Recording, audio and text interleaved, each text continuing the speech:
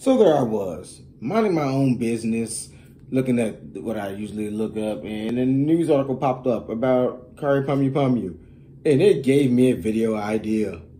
Play my music, baby.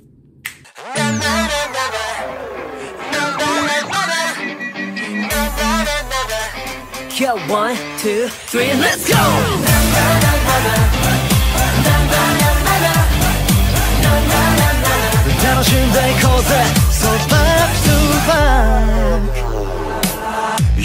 たものはトゥルー尽くしてきたマイベスト結果求めすぎて正直オ l l タイヨ Watch for watch for show me what you want 繰り返す自問自答本当はどこに行きたいの時代に縛られ Way o u my now 好き勝手できない Oh yeah もうこの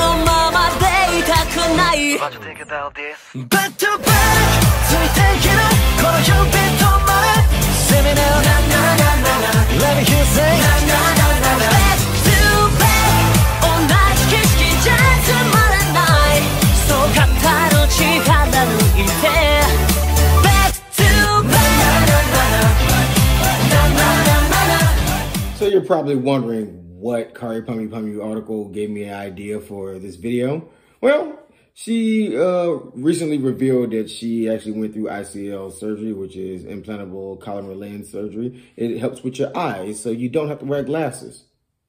But why? Why is that a thing?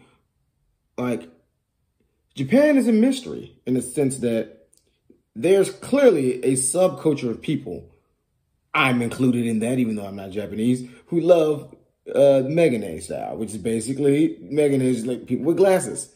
I love that. I love girls with glasses. I love idols with glasses. It looks glasses looks good. I like glasses. They look good on people.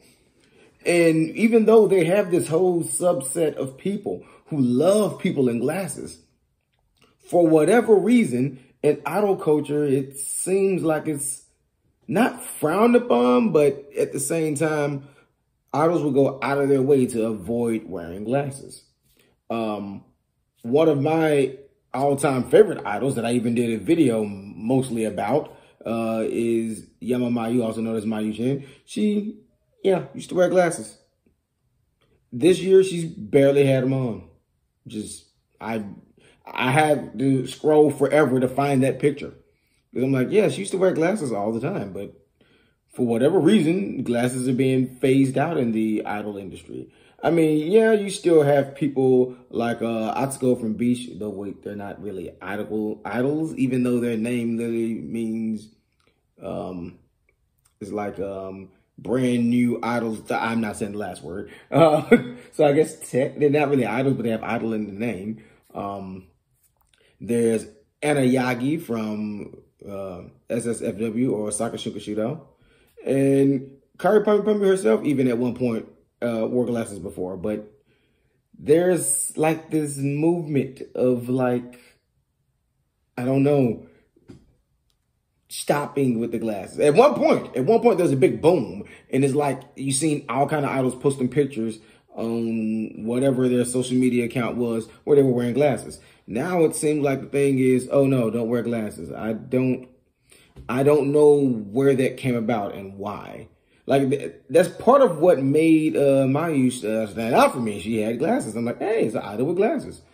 Is is uh, what makes Atsuko stand out for me And uh, B. She has these big Coke bottle glasses, and I'm like, I like her. I like her a lot. Who is this girl? And when I first saw the group, I'm like, who is she?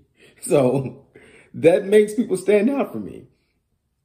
So I, I don't really understand what it is about idols that they don't want them to have the like. There's several idols across several record labels that are is known that they are supposed to wear glasses, but they don't. They just wear their contacts, or they just probably go without even those sometimes. I don't know how that works.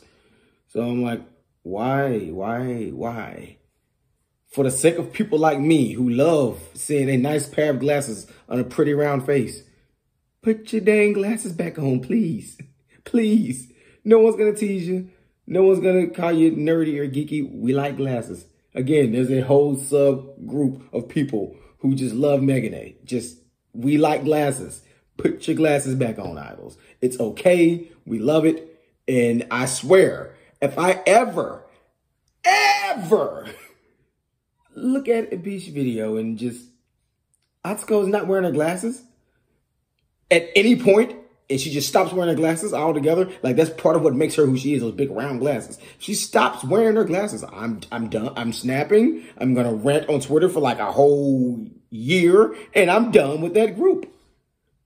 But let me know what you think. Do you like idols with glasses? Do you not like idols with glasses? Do you think it's some kind of way takes away from what makes an idol an idol and makes them look dorky? Or are you on my side, the smart side, and think that it makes them look better or or it just makes them look cute or sexy or whatever you want them to look like, cool, whatever. Let me know in the comment section below. Until next time, this is A.W. Brawler for the Nintelligent Podcast saying be you, be true, be human. And remember fans, Tasha to Ashday. Mwah. I see you mentioned in the video, baby. And we got a convenient subscribe button so you can click it and see what next video is available and ring that bell. And also we have social media links so you can get in contact with everybody, the Nintelligent Podcast crew. And you can also check this video out down here or this playlist to watch the rest of the WOTA Wednesday. So go ahead, what are you waiting for? Click some buttons, baby.